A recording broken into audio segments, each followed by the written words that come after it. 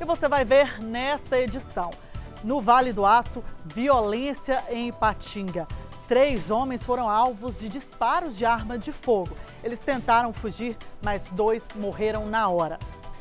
Polícia Militar de Meio Ambiente analisa imagens de câmeras de monitoramento para identificar e responsabilizar quem pôs fogo em uma área de vegetação em Coronel Fabriciano.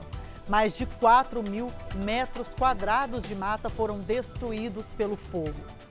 Em Governador Valadares, um homem morre atropelado por um carro na Avenida JK.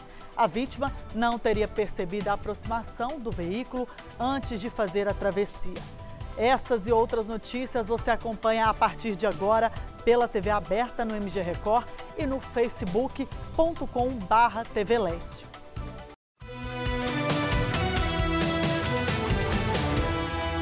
MG Record